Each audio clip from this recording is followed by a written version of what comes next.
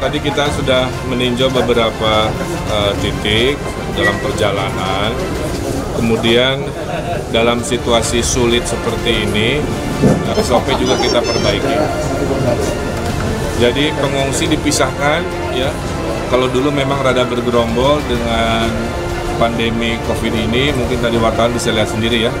Yang lansia-lansia dipisahkan ke kamar khusus karena paling uh, rawan, kemudian dikasih jarak 1 sampai 2 meter. Kemudian semua sudah dibagi masker, dilatih untuk menjaga jarak walaupun dalam masa pengungsian.